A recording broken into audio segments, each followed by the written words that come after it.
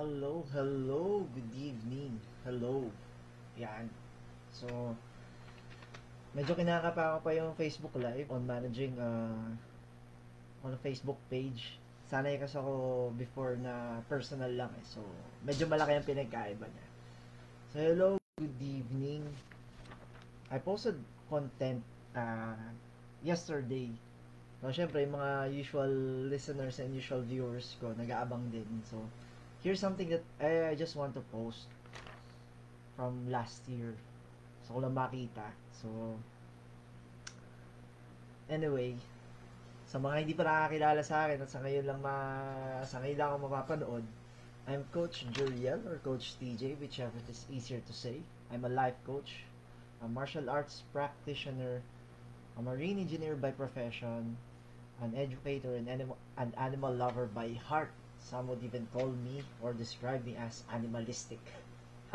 well, this is the flavor. May pagka-animal minsan. so, yan. So, yan. You're all wel- welcome to to view, yan, to stay, to talk, to engage. Okay lang. So, looking back a year ago, na matagal ko iniisip kasi kung ano ba talagang una ko ilalagay na content. Kaya medyo uh, hesitant ako. Anyway, hindi dahil nag-life coach na or sabihin natin emotionally more aware na kami, eh hindi pa rin kami nakakaramdam ng kaba.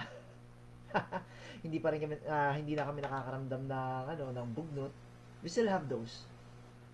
So, looking back a year ago, ang dami nangyari sa totoo lang.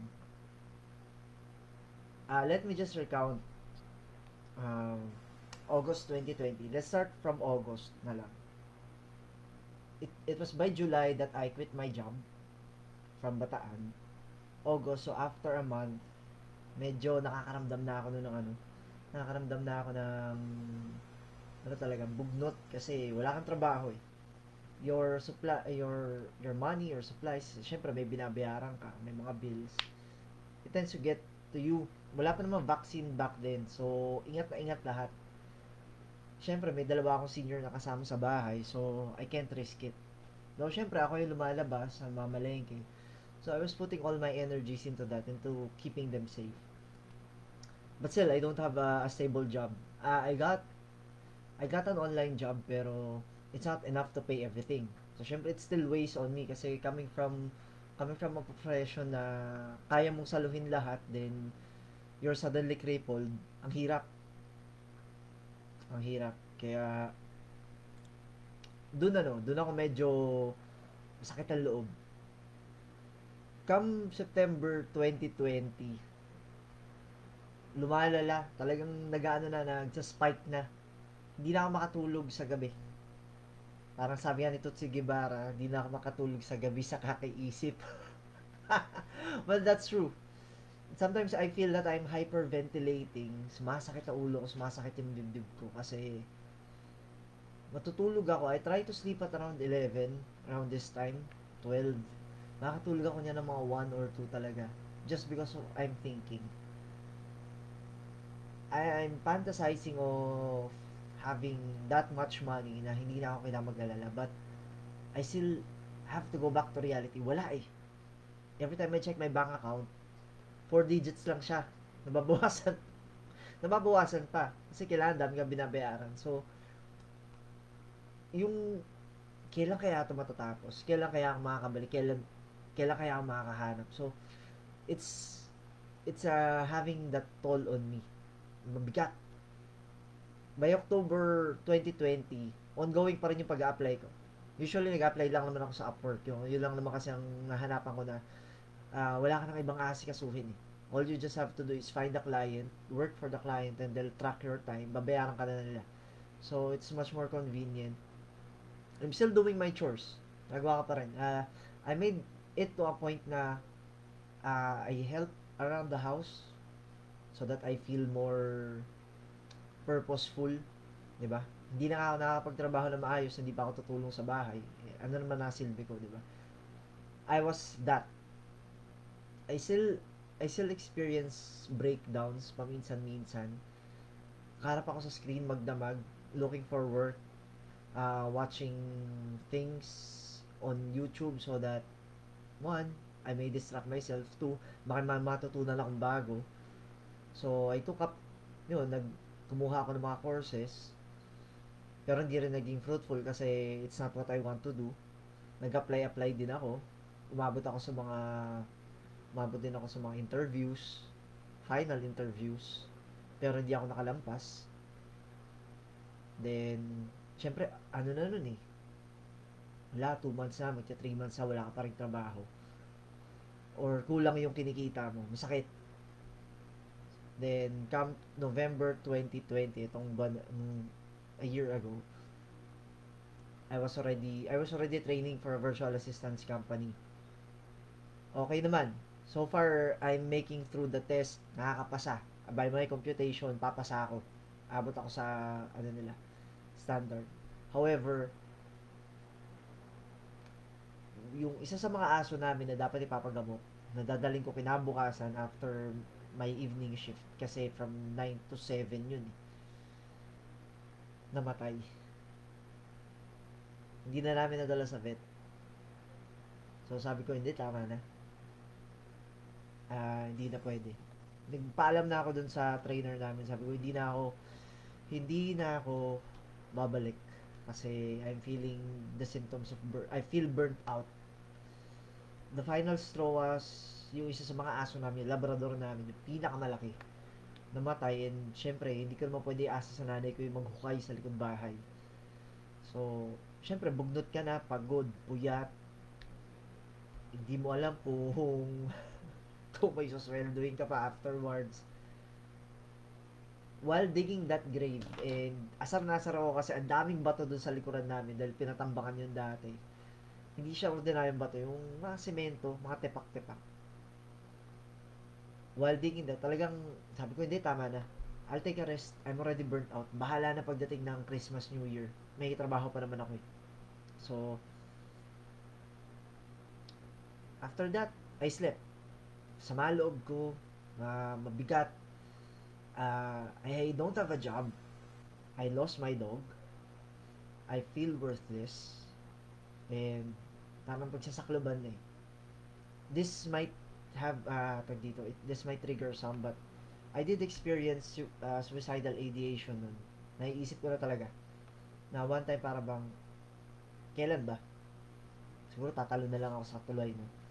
May ganun.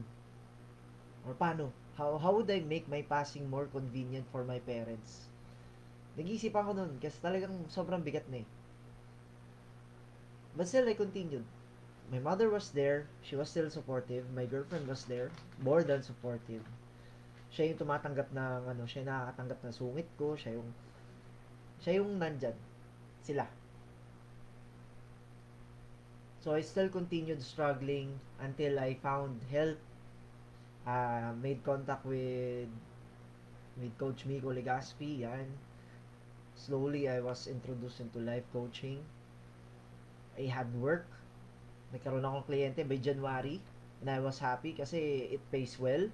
Nakapagbayad ako ng maayos sa bills ko. I was able to help around the house.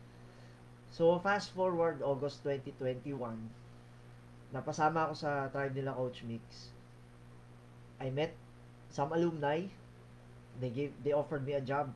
Teach, pwede ka ba magturo? By then, I lost my passion. Ayoko na. Ayoko na magturo. But I offered, I was offered the job. August. Sige, sabi ko, kunin ko, sir. Sige.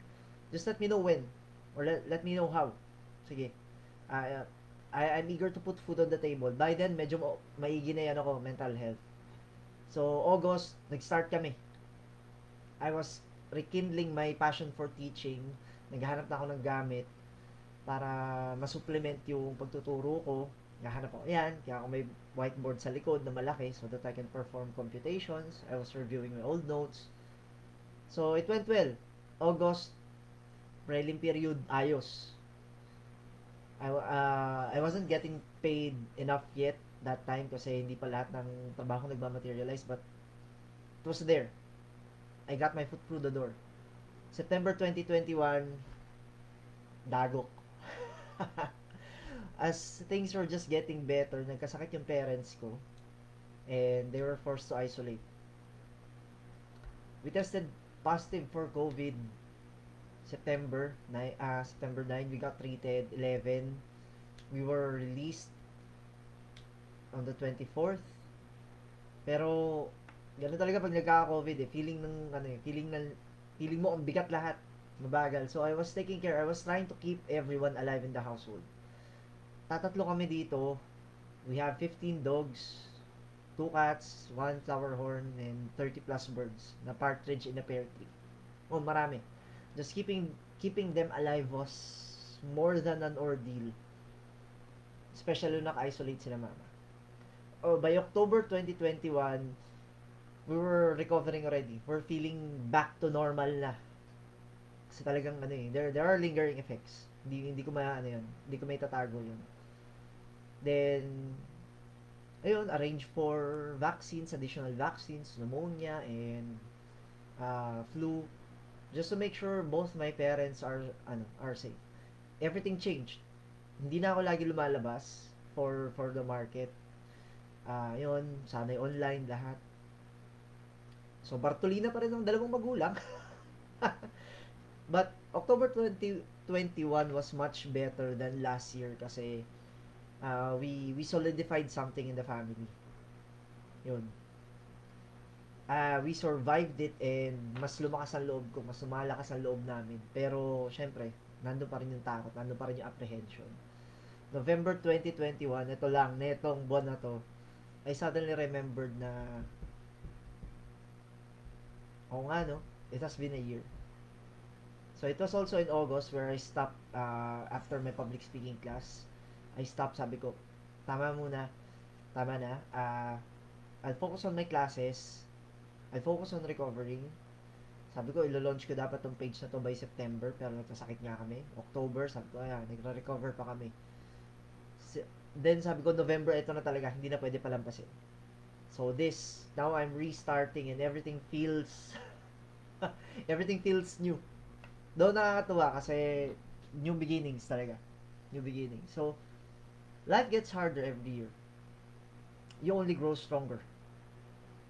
Should you, should you choose to stay, diba? Should you choose to ask for help, it does get better. So, yun lang yung pagbabalik tanaw ko and I, I just want to continue from from my last video na yung hiatus ko was planned. Marami nangyari. So, now I'm being back. I want to be present again and I want to I just want to be here para makita nyo. Just to be visible and I believe it starts from there. A lot a lot of problems can be solved just by being present. And some are solved just by being absent. Di ba? Wala ka sa wrong place in the wrong time. But, ayun, yung, I'll go into some of the detail sa susunod siguro. But, I just want to look back from a year ago na ang dami na nangyari. You wouldn't recognize me from a year ago. Napakalayo. So, I do hope dyan sa mga lumalaban pa ngayon, those who are struggling, those who are those who are undergoing a lot of pressure, it's okay to rest. Pahinga naman tayo onte. Diba? Hindi na mawawala yan eh. We can rest, then we can go back at it tomorrow. Balikan lang natin. And there's support. There's help. Don't think, or, I, I know you might have tunnel vision right now na walang, na walang tutulong. Kaya ako nagpapaka-visible eh. So that whenever you watch this video, or if you see this video, you'll know someone is out there uh, who has also experienced some of the things that you have experienced and they're willing to help. We're willing to connect with the right people. If hindi ko kayang tumulong, di ba? Know that there is someone out there. Okay? So, I hope that your your week is going well and if it's not going well, I hope you'll have a better week this following Monday. Malapit na naman ang Pasko. So, let's get a little bit more festive and I hope that you've learned something. I'll share more in the coming days. Midterm at kailangan mag-submit ng mga grades. So, expect a few days later on. So, I hope that you're all doing well. If you have any